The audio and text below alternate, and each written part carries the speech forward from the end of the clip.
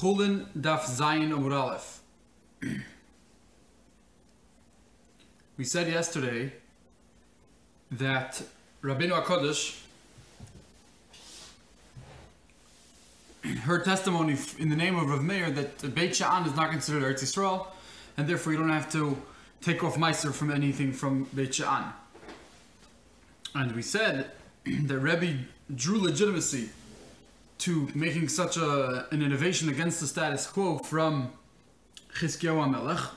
and we learn from here that, um, like Rebbe says on the top of the page, Afani, so to myself, my my fathers left me place to make my own decrees, make my own innovations. Just because my fathers didn't do it, does not mean that I'm not allowed to do it. And from here we learn that a Talmud Chacham is Amar Dvar Halacha that says something innovative in, innovative in halacha that no one ever heard before. That's against the status quo. Some say Ein Mazichin which means we don't turn him away. The Amrila Ein Maznichin Some say Ein Maznichin which means we don't forsake him. The Amrila and some say ein mazchichin We don't call him a balgaiva. We don't say, oh, you're haughty, and that's why you're able to say something that's so innovative. Manda omer mazichin, the one who uses the term mazichin diksiv, he's he's drawing on the pasuk that the choshen was not allowed to move from the ephod. The pasuk says, "V'lo yizacha choshen." The choshen shouldn't move, so you shouldn't you shouldn't move him away. You shouldn't push him away. This time, Manda omer ein mazlichin oisay. Diksiv ki lo yiznach lo Hashem. Hashem will never forsake Klal Yisrael. So you see the word znicha means forsake, so too, do not forsake this time of just because he said something innovative. Uman domer mazchichin,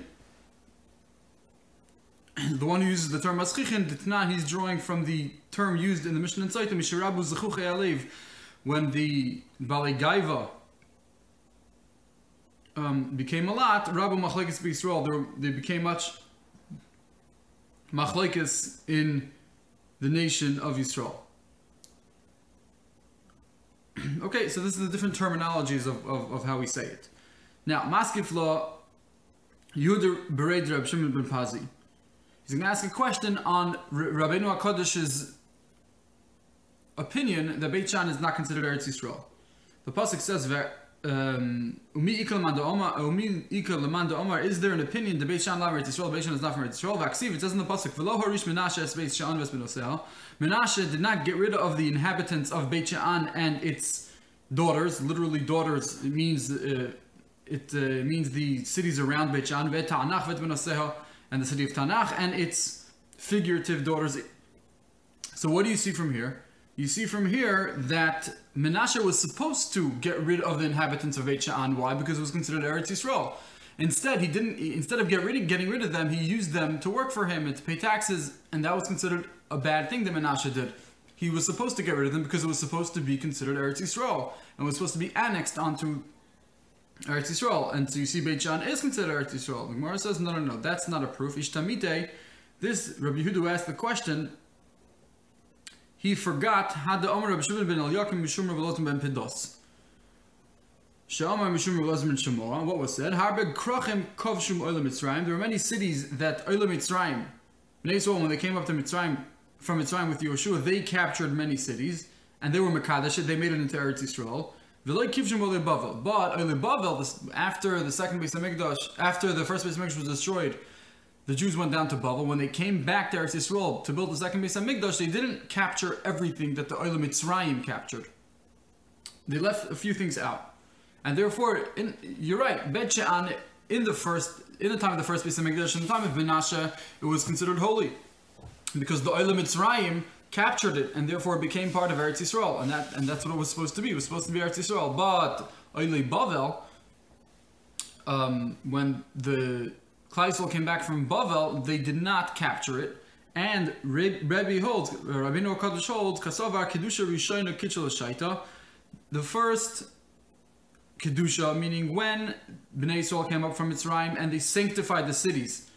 By ca- through capturing the cities, they sanctified them only temporary. But it wasn't sanctified forever. Meaning, when they left Eretz Yisrael, when the first base of Mikdash was destroyed and they left, so the Kedusha left the cities too. The Hinichum and when the Oile Bavel came back up, they left these cities out. They did not sanctify these cities, even though previously they were sanctified. How come? So that the poor people during Shemitah would be able to have somewhere to grow uh, food. If everything around you is considered Eretz Yisrael, so comes Shemitah, poor people are really in a bad shape because they don't have any food to eat. Therefore, if we leave a certain place where people are allowed to plant even on Shemitah a year because it's not really Eretz Yisrael, so therefore um, it might help the poor people. There might be more food. Uh, therefore, we left out Beit Sha'an. Omer asks, uh, says Rabbi Rav Meir, How do you know from the fact that Rav Meir ate a leaf of a vegetable that he really holds that the whole Beit Sha'an is not Chayiv and Meiser because it's not considered Eretz Yisrael?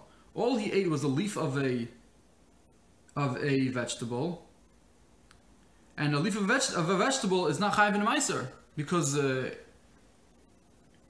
it's considered Achilas Arai. Only a serious type of eating is mechayiv the food in meiser. But if all you do is you pick a leaf off the floor and you eat it, it's not chayiv in, in meiser, and there wouldn't be an issue of, of demai of anything.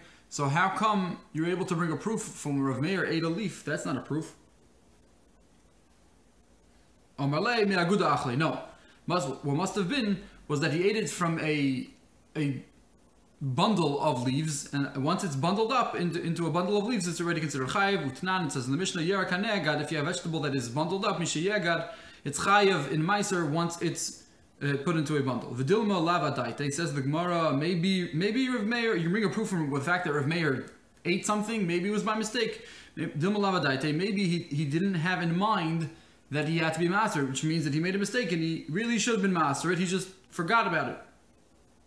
Where it says, no, hashta tzaddikim, if even the animals of tzaddikim in HaKadosh Baruch Hu maybe tekalal yodan, even if the animals of the tzaddikim HaKadosh Baruch Hu does not bring a pitfall to them, and we'll see where we see that with the donkey of, of Pinchas ben Yor, tzaddikim atzman, for sure tzaddikim themselves, the righteous people, like Kol and Hashem, would never bring about them to eat something that's not allowed to be eaten, and therefore from the fact that Rav Meir ate it, must be it was mutter. So you can bring a proof and don't tell me Rav Meir forgot. Uh, the Gemara says, "V'dilma iser aleya mimakam acher." Maybe Rav Meir ate the leaf of the vegetable because he was me'aser. He really did take off meiser, but someone somewhere else he had in mind that the food in his house, the vegetables in, in his house, should be considered meiser for what he's eating right now. Says the Gemara, that can't be because le'nechshidu chaverim Litram Shlomin Amukov. Chaver, meaning Tamid Chachamim, um, we do not suspect them for being uh, Truma for, or, or Meiser for being, for separating uh, Meiser Shaloim Amukov when it's not close by. Minamukov means close by. And basically, we're not supposed to separate Meiser from something that's not right here. Because if it's right here, people realize what you're doing. But if it's not here, people don't realize that you're eating, that you really were Maaser.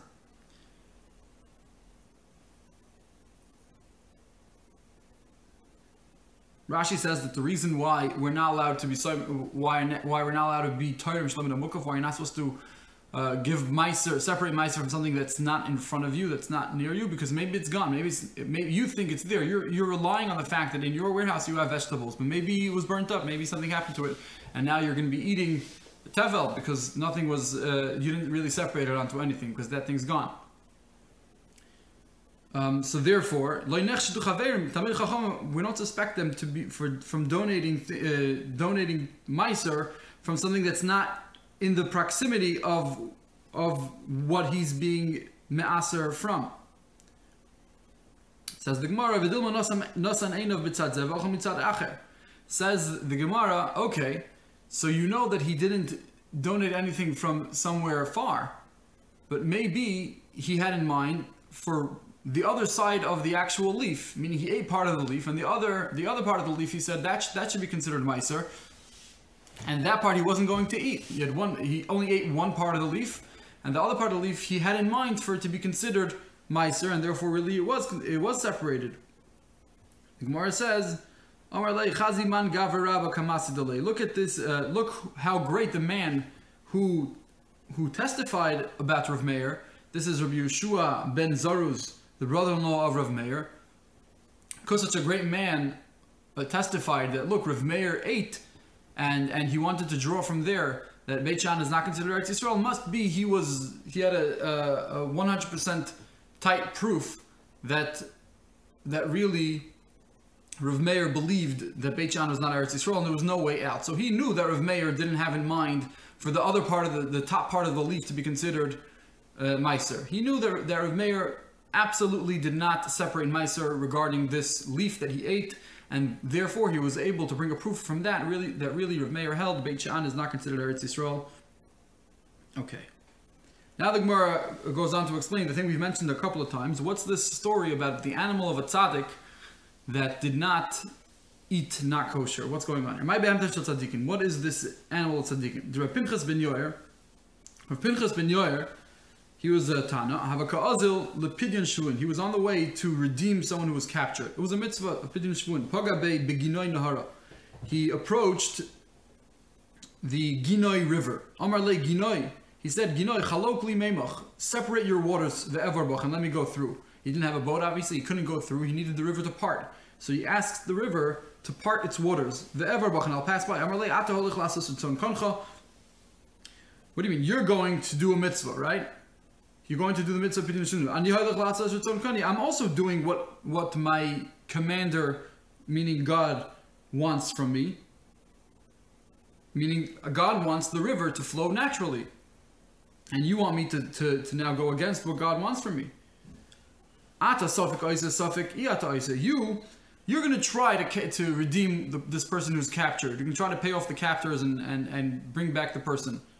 But you're sofik oisa, sofik iata oisa. You don't know for sure you're going to be able to do it. You're going to try. It's not a definite thing that you're going to accomplish what you're setting out to do. Ani vada yoisa. I am for sure doing what God wants for me. I know for sure that God wants me to to, to make sure this river flows naturally and if I do that, and I know I can do that, and I'm going to do that for sure, uh, then I know that I'm accomplishing what Hashem wants for me. So why should I stop what God wants me to do? Because you might do what God wants to do. Uh, so Rabbi says, says back to him, if you do not part, if you don't, if the water doesn't split, goes rani alecha, I will decree upon you, shelo la'olam. He was going to curse the river that the, the, no water should pass by the river forever. Cholakle. So the river split. Havahu Gavra, there was a person there, that was holding, he was carrying wheat for Pesach. Amarle Chalokle, also you should split for him. Nami. Also, why? Lahai, uh, Chalok le Nami Lahai, you should split also for this guy, to be mitzvah asik. Because he's dealing with a mitzvah, he's bringing wheat for Pesach, so you should, so Pinchas Ben tells the river, you should, you should split for him too. Amarle, uh, so he so he so he split for him too. The river split for this guy too. Havahutaya, there was an Arab merchant, the love of Adayu, that was uh, accompanying them too. That was going in the same direction. Amarle chalokle, you should split for him too. Uh, chalokle namilah, you should split also for him. Why? Why should you split for him? Is he doing a mitzvah? He's not doing a mitzvah. But but the low lema. That, that they shouldn't say they shouldn't say people shouldn't say kach levaya. This is what uh, you do to people who accompany you. Someone who accompanies you, you're supposed to act nicely to him. And over here, the river is going to split only for us two and not and not for this guy. So chalakle, the river split for him too. Amr Rav Yosef says Rav Yosef. Rav Yosef comments about this part of the story. How much greater is this man, Pinchas ben Yair, even more than Moshe and 600,000 Jews? The Ilu Hasam goes over there, Chad Zimna.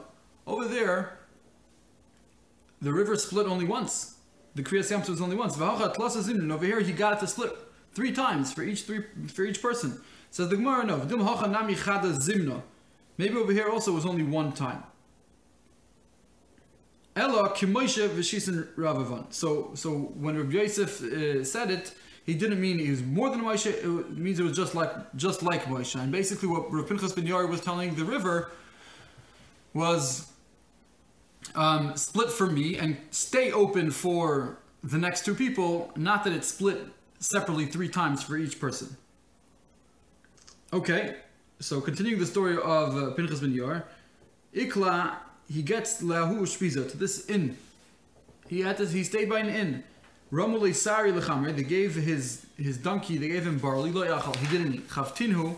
They um, sifted it so that it would take out all the, the, the, bad things. They thought maybe the donkey wasn't eating it because it was dirty. Lo yachal. He still didn't eat it. Nakrinhu. They took out all the stones. They made sure there was nothing else there except for the barley. Still lo yachal. Amar lahu. So Pinchas ben Yor says, Dilma loime asr nasrinu. Maybe you didn't take away miser from these from this barley, and that's why he didn't eat. Asrinu. So they took miser and the ochal and the donkey ate once they took away miser. They took off miser once they separated miser from the barley. Omar so Pinchas ben Yair said, "Ani azu, this poor donkey, is going to do its master's will. It's doing what it's supposed to do, and you give her tevel. You give the donkey tevel. Um, tevel is is uh, produce that Truman Meiser was not taken off. It's it's also to eat. You're giving you're giving this animal tevel. Now asks the Gemara, Omi Mechayva, is the animal chayav in Dmai? Basically, the inn that Pinchas ben Yair stayed by was an inn of an Amoritz, who we can't know if they separated Meiser or not. And Chachamim said we have to separate again. That's what Demai is. And the Gemara wants to know: Are you are you obligated to make sure that your animal doesn't eat Demai? Vatnan, doesn't it say in the Mishnah, Lokach lezera, if you take to plant, if you if you buy produce to plant or ulabehema or for an animal, you want to feed it to an animal, the kemach or you buy flour to uh, process skins, the shemen lener or oil for a candle, the shemen lasachboy or oil to to um, lasachboy sakelim to smear onto uh, vessels, then you're pater mai. Why? Because you didn't buy it to eat it. Right, so you see over here that if you feed demai to an animal, if you bought something to feed it to an animal, so then it's fine. You don't have to separate meiser from demai. The Gemara says, no, we learned about this. Amar Yochanan, Yochanan said, Lo shana We didn't learn this previous halacha only when you took it originally for a behema, so then you do not have to separate meiser again uh, you don't have to separate Meiser from the Demai. But if you originally took it for a man, and then you decided, no, you're going to give it to your animal, the behema, then it's still Chayav le'aser. Vatanya, and we have a brisa that says the same thing. If you take fruit from the shuk, la'achila, to eat for a man, for a person to eat it, but then you changed your mind and you decided to give it to your animal, areza lo yiten, lo'ilifne behemta, you should not give it in front of your animal, not in front of your friend's animal, elim ken isar. So if you have demai, if you buy the demai for yourself and then you give the behema, then you still have to take off meiser from the demai. But if you buy it originally with the intention to give to an animal, so then you do not have to take off um, demai. You don't have to take off meiser from the demai, and therefore, what we're saying over here is in this story of Pinchas ben Yair, the innkeeper originally bought this barley for humans, for human consumption. But then they decided they're going to feed it to the animal. They're going to feed it to, to the chamar. And the chamar refused to eat it because we learned to, over here that if you originally buy it with the intention to feed to animals, uh, to feed to humans, so then even if you end up giving it to animals, you still have to take off meiser from the dmai. Now, what seems to over here from the Gemara is that if it was tevel, if the if it was actual tevel, if, if we weren't dealing with dmai, and if you knew for sure that there was no uh, that no one took off away the miser from the uh, from the produce at all, so it would be considered tevel, then then the animal would not be allowed to, to eat it. And this is not because an animal can't eat kosher. An animal uh, uh, can't eat not kosher. An animal is allowed to eat not kosher. You can feed an animal levelas, trephus, um, you, you can't because you're getting hana from it, but uh, other isurim, chazer, anything, any non-kosher thing, you're allowed to feed your animal. Only humans are not allowed to eat non-kosher foods, not animals. However, what's going on over here is that the reason why you're not allowed to feed your donkey tevel is because tevel and truma have a prohibition of having hana shel kilo. Hana shel kilo means that you're gaining, you're you're having um, benefit from tevel in a way that depreciates or destroys the tevel. Meaning you're allowed to sell tevel, you're allowed to make business with tevel, but but you're not allowed to have benefit in a way that destroys it. For example, feeding it to an animal, you're having benefit from tevel, and um, because you're having uh, you're having benefit from tevel, and by giving it to an animal, and the animal eats it and destroys it, consumes it fully, and that's called hanash or kiloi, and that's considered aser, and therefore and therefore th- that's why it would have been considered aser for the donkey to eat it it's not really because the donkey is obligated not to eat. Um, the, the, the donkey is obligated to eat kosher. The donkey is not obligated to eat kosher at all. It's just it would have been usher to give this animal this demai because it's because it's considered hanash or kiloi. Okay. So Shoma Rebbe, Rebbe heard that Pinchas ben Yair was in the area. Nafaklapi, he goes to greet him, he goes towards him. Omar Lay, uh, Rabbi tells him, could you please eat by me? He wanted to invite him for a meal to eat by him. Omar Lay, uh, told him back, Hein savu panecho. Lay hein. He tells him, yes, I'll come eat by you. Tzavu panav Rebbe. So Rebbe's face glowed. He was so excited that Pinchas ben was going to come to him. Omar Lay, so Pinchas ben tells him back, he saw his face glowing so much. He says, Kimduma ata, do you think Shemudar Anom Yisrael that I um, have vowed of from not getting benefit from Yisrael. Basically, everyone knew that Pinchas ben Yair, whenever you invited him, he would never come to eat by you. He did not want to eat by anyone else's suda. He only wanted to eat his own food. He didn't want to eat from anyone else, and therefore, um, when Rebbe heard the, that uh, Pinchas ben Yair said yes to his invitation, he got very excited. So then Pinchas ben Yair says, "Do you really think that I'm that I I have vowed that I will not benefit from anyone from any Jew?" Yisrael kadoshim him. Yisrael are kadoshim. They're holy people. I would for sure benefit from them. I have no issue benefiting benefiting from them. But yesh rotze. There's some people who really want to invite me, and they want to give me food. Ve'ein lo, but he really doesn't have, so I can't take from him. Ve'yesh lo, but some people have.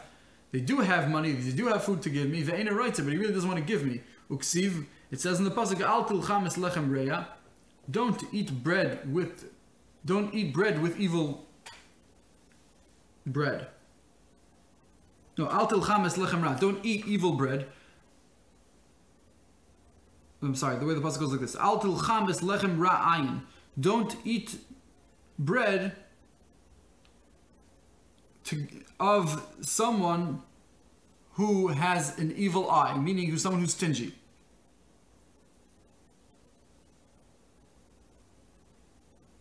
don't eat the bread of someone who's stingy. Al tilcham, don't eat the bread es lechem ra'ayin, of someone who is a has an evil eye who's stingy. V'al tit'av limat amotav, and do not desire his delicacies. Ki kimoy shar ben. Cain who, because he's bitter in his heart, um, Echol say malach he'll tell you eat and drink but his heart isn't really with you. So the pasuk in in Mishlei is saying that do not eat from someone who who is stingy. He doesn't really want to give you, even if he has, but still he does not want to give you. Do not eat from him. Do not eat from him because he really does not want to give you, and he'll be bitter. But he says, so that's them. That's why I can't eat by everybody because some of them have, they don't want to give. Some of them don't have and they want to give. So I can't take from, I can't take from them. But you, Rebbe, Rabbeinu HaKadosh, Pinchas tells Rebbe, you have no problem going to your house because Ata Roitze, you do, I see you really do want uh, me to eat by you, V'yesh and also you have, you have the money and therefore I would be willing to eat by you. Miyo Hashta, however, right now, Masarvina, I am in a rush, The Bimilsa the Mitzvah Katarachna, because I am dealing with right now with a something with a mitzvah. He was dealing with pidyon shvuin, shvuin, and he's busy with that. I can't come right now. Ki hadarna when I'm on the way back. When I come back, asina legaboch. I'll come and and go up to your house to you. Ki also when he comes back. So Pinchas ben Yair went to do his thing. He came back. Isrami it happened to be that Ol Behahu Pischo, that he goes, he went with to a specific, he went to Rebbe's house through a specific doorway, Dahavu Kaimin Bay, that that that right by that doorway could naisu chavarta, white mules were standing there. White mules were standing by that doorway. So Omar, he says, the angel of death is in this house. He saw them and he, and he said that they're like the angels, angels of death. They're death incarnate. Because we'll see later on, the Gemara says they're very, they're very dangerous. They can be very damaging to humans. And therefore, he said, eh, the angel of death is in this house. Vani esay that's like, and I would eat it. I am not, I'm, and I'm going to eat by him. He didn't want to eat by him. Shama Rebbe, so Rebbe heard Nofak la'apeh. He goes out to greet him. Amarle mazvinalu. Okay, you don't want, you don't like them. I shouldn't have them. Okay, I'll sell them. Amarle v'lifnei iver loisidin mishal. No, whoever you send it to, whoever you sell it to, you're gonna be over lifnei iver because you're giving it to him, and he has it. He can't have it either, and you're putting a stumbling block in front of a blind person. You're causing someone else to sin. Uh, so Rebbe says, "Okay, mafkarnalu. I'll send it to the forest, and I'll I'll make it hefker. I'll relinquish my ownership on them and just let it go."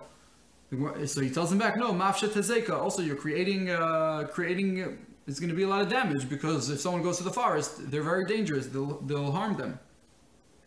So he says, akar lahu. Okay, so I would, um, I'll, I'll take off their hooves. I'll cut off their hooves so that they won't be so strong, and if they kick, it won't hurt so much. But uh, it, it, it still be able to, you know, you can still use it because uh, they can still thresh with it. They, they can still do things, but uh, I'll just take off their uh, their hooves. So he says no ika tsar balechayim. Because when you take off their hooves, it's going to hurt, and it's considered tsar balechayim. So he says katil noluhu. So I'll kill them. It's fine. I'll just get rid of them. He says no ika baltashvas. Then it's then it's baltashvas. So havakam evatish beituva. So Rebbe was. Um, nagging him a lot. Mevatish means he, he was asking a lot. Uh, bitush is a, is a usually Kabbalistic term. It's a very rare word that we see this here. Havaka mevatish beituva, he was, um, he was nagging him a lot. He wanted him to come and eat. Uh, Pinchas ben refused to come to eat at the house of someone who had these mules that were that were so dangerous.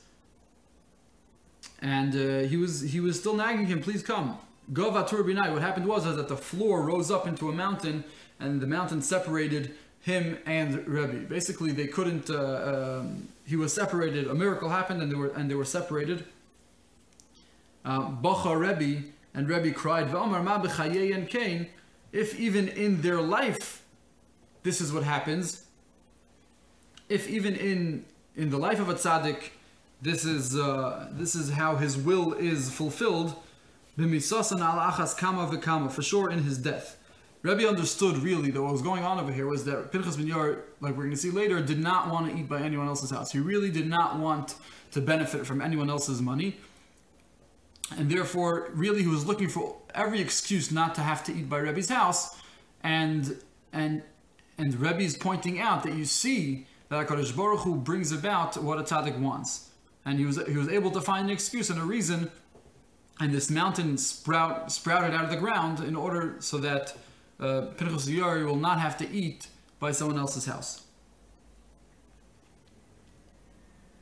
Um, now we're going to bring a, a proof um, where we know that that that uh, in their death in tzaddik's death, he's even greater than when while he's alive. Tzaddikim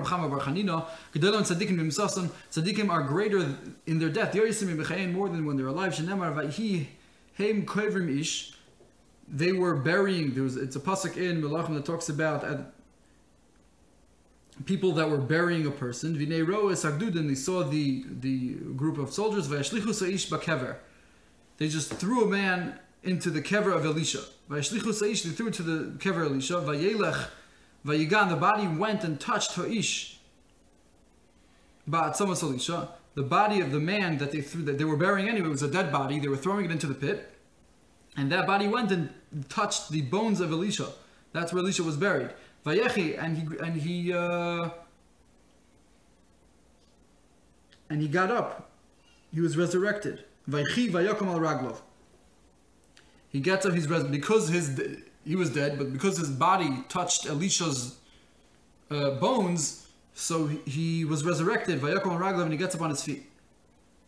So you see over here that Elisha was greater in his death than in his life, because in his life, when he resurrected the um, Shunamis's daughter, uh, the Shunamis's son, the son that the kid that Elisha resurrected, he had to he had to lay on him by us pival pive nov nov, and and um, he, he had to work on it much harder.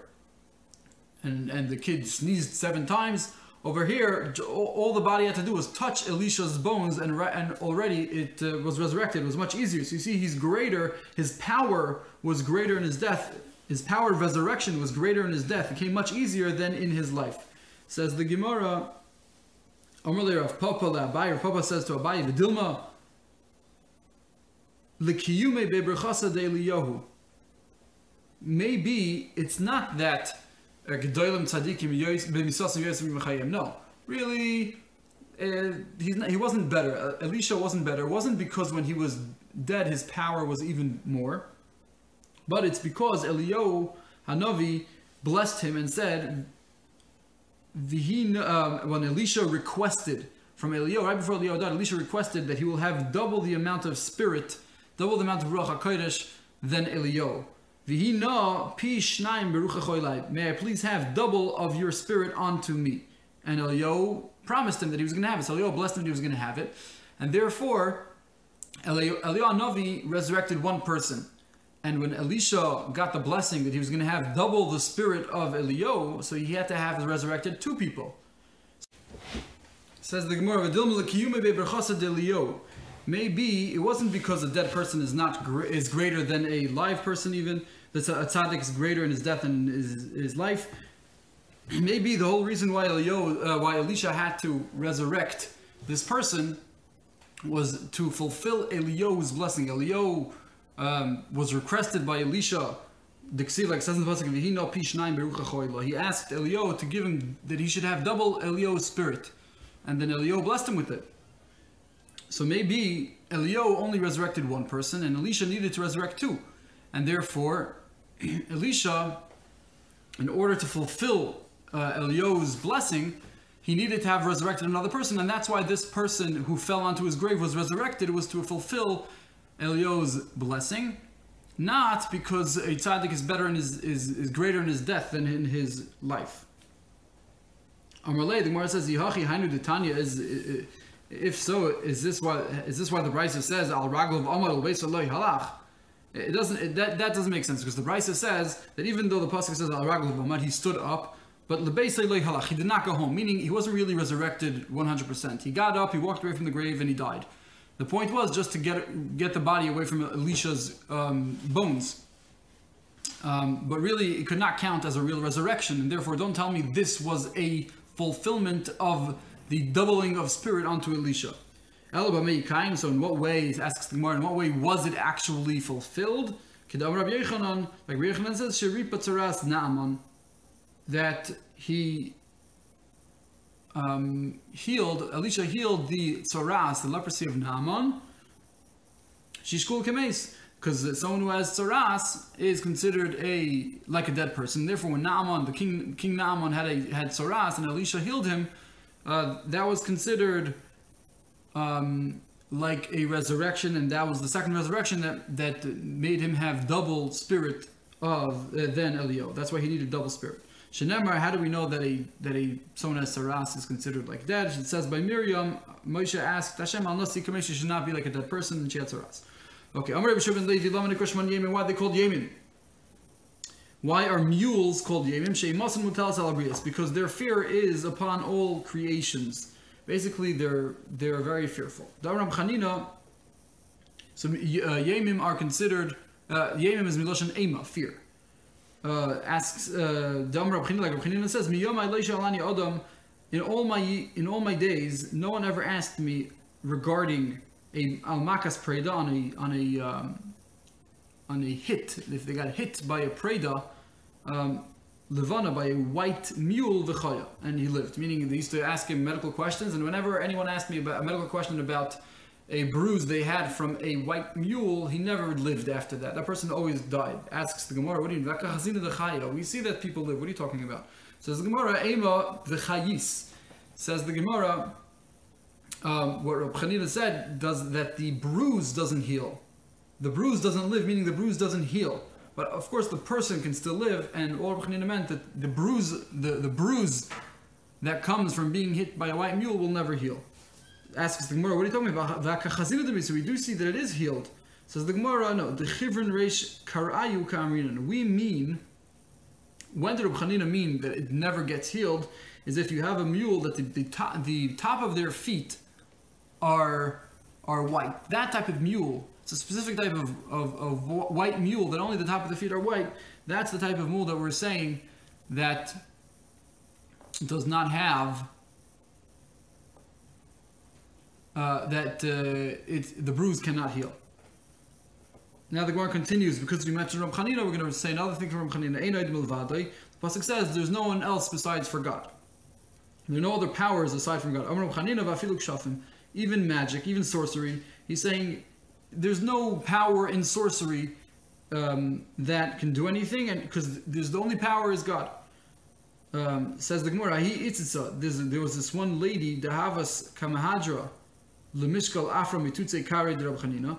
She would she would uh, follow Rab Chanina Lemishkal Afra to take dust from the Mitutze Kare from under the feet de Rab Chanina Rab Chanina. Uh, she was obviously going to do some type of witchcraft and wizardry with the dust that was under his feet. So Amrle told him, Shkule, take take dust. Let me stay milsa. You're not going to be able to do anything to me. Nothing's going to happen. Ein There's no one. There's no other power except for God. It says in the pasuk uh, asks the Gemara, how, how could Rabbi Chanina say so uh, strongly that there is that there are no other powers other than God and kshafim and magic won't affect him in any way? Why are they called kshafim?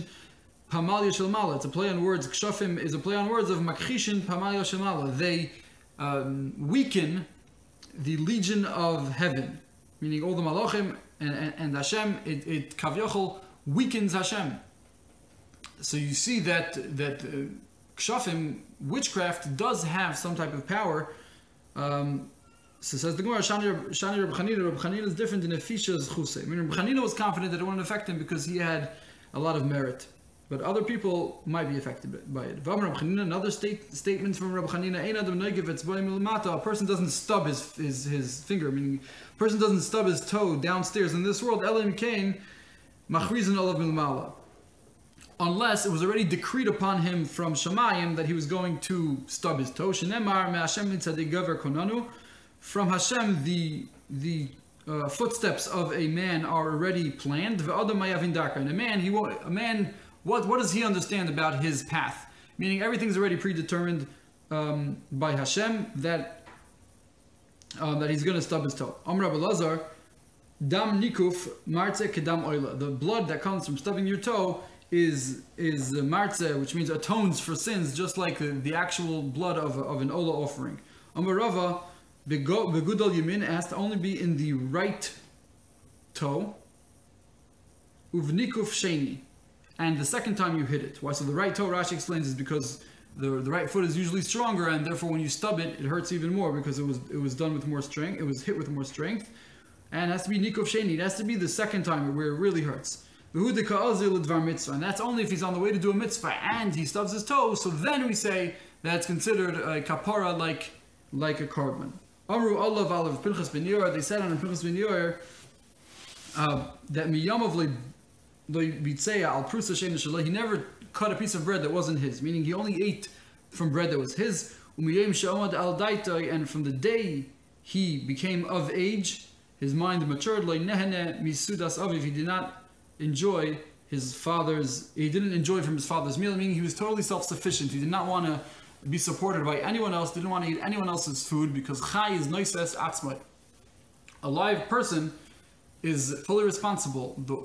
A, a live person who's considered to have the most life is someone who's an individual who's purely independent and responsible for himself and does not have to take from anyone else. Because if he has to take from someone else, then that takes away from his ani.